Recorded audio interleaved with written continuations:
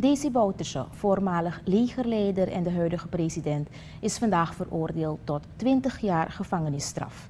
Als hoofdverdachte van de decembermoorden is hij schuldig bevonden door de krijgsraad onder leiding van rechter Seintja Valstein Monsnor. Volgens de rechter is het wettig en overtuigend bewezen dat Bouterse een belangrijk aandeel heeft gehad in de executie van 15 mannen in Fort Silandia.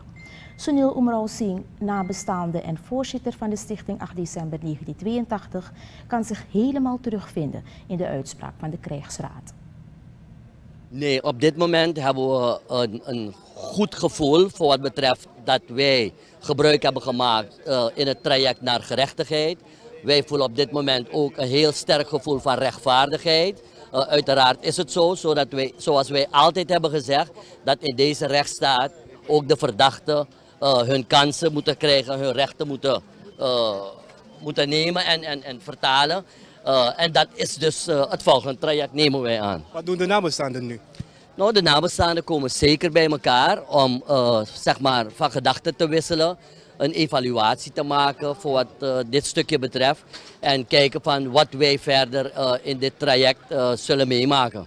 Er is geen bevel voor ingevangenneming. Ja, hoe kijkt u daar tegenaan? De rechter heeft haar uitspraak gedaan.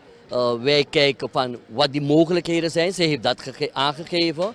Wij verwachten dus in 14 dagen een bepaald resultaat en dan zien we hoe we verder gaan. Maar wilt u graag dat de hoofdverdachte in... Of, uh, elke, verdachte die is, elke verdachte die schuldig wordt bevonden, moet, haar moet zijn straf uitzitten. Dat, dat is heel helder en duidelijk. Maar denkt u dat dat gaat gebeuren? Ik ben overtuigd, anders is de rechtsstaat een farse.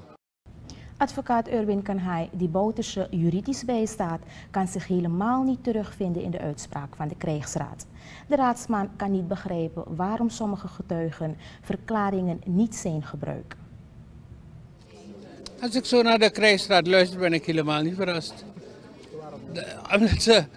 Er zijn opzettelijk getuigenverklaringen van mensen genegeerd. Van Haperen legt de verklaring af, die wordt genegeerd. Meneer Veenox legt de verklaring af, die wordt genegeerd. Meneer Granus legt de verklaring af, die wordt genegeerd. De, dat rapport dat we hebben overgelegd, de rechter zegt dat die geen ondersteuning vindt. Dat is ook niet waar. Dat is een pertinente onwaarheid, omdat Granus dat juist zegt in zijn verhoor. Meneer Van Haperen zegt dat ook in zijn verhoor. En dan zegt de rechter dat die, die, dat, dat rapport geen ondersteuning vindt nergens anders in andere getuigenverklaringen. Dat klinkt klare onzin.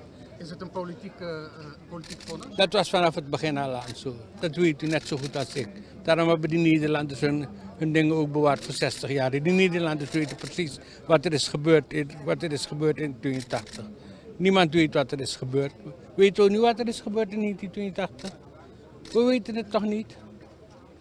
Wanneer gaat u het, uh, het proces inzetten? Maandag al. Erwin Kanhai, advocaat van hoofdverdachte Daisy Bouterse. Hij sprak vandaag na de uitspraak tegen zijn cliënt. Bouterse is als hoofdverdachte van het 8 december strafproces vandaag veroordeeld tot 20 jaar gevangenisstraf. De medeverdachten Etienne Boerenveen en Jimmy Stolk zijn in ditzelfde proces vrijgesproken.